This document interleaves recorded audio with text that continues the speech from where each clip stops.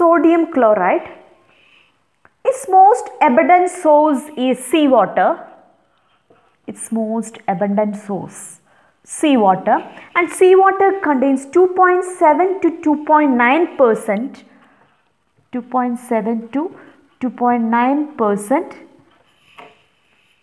by mass of the salt okay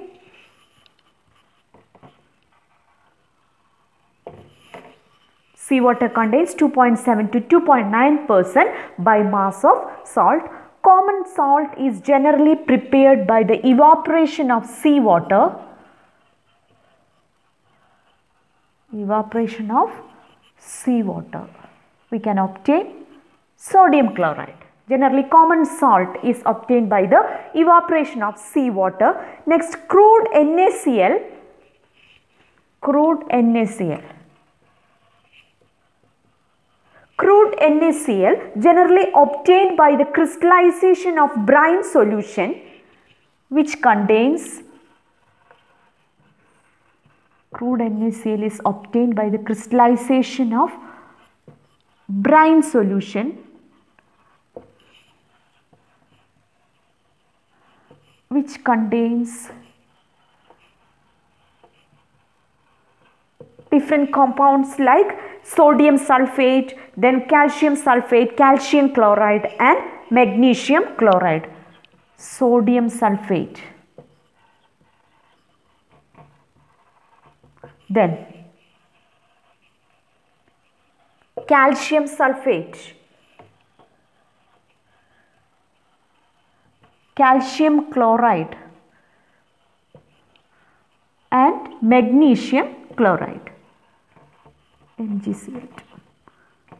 These are present in the brine solution. So, crude NaCl can be obtained by the crystallization of brine solution and CaCl2 and MgCl2 that is calcium chloride and magnesium chloride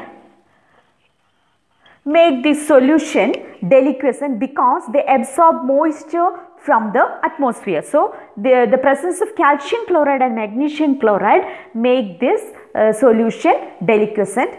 Okay. So, to obtain pure NaCl what we have to do? First crude salt that is crude salt is first dissolved in minimum amount of water. Crude salt is first dissolved in minimum water. Okay.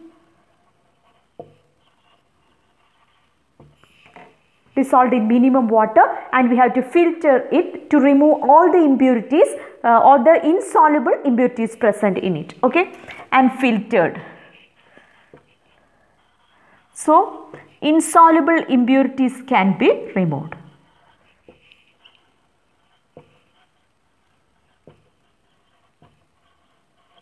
Then next step the solution is then saturated with HCl gas, then saturated with HCl gas. Okay. So, what happens? Crystals of pure NaCl separates out, crystals of NaCl separates out. We can filter and crystal, crystals of pure NaCl separates out filtered and we can use the NaCl crystals okay? Next calcium chloride and magnesium chloride uh, more soluble than NaCl okay? So they remain in the solution. Calcium chloride and magnesium chloride will remain in the solution. NaCl uh, crystallizes out and we can filter and use Okay, next different properties of NaCl are NaCl melts at 1081 Kelvin. 1000 NaCl melts at 1081 Kelvin. An important property of NaCl and its solubility that is 36 gram in 100 gram of at 293 Kelvin. At 293 Kelvin 273 Kelvin. Okay, next property at 273 Kelvin what happens? 36 gram dissolves in 100 gram of the water.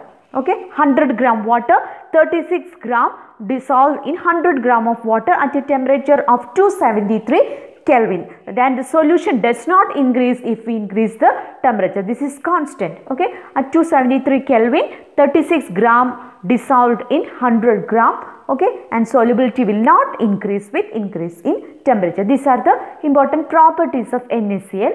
Okay. Uses of sodium chloride. First use, it is used as a common salt or table salt for domestic purposes common salt or table salt for domestic purposes.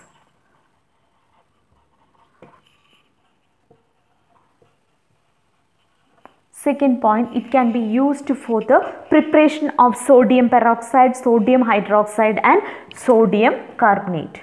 Used for the preparation of sodium peroxide, then sodium hydroxide and sodium carbonate.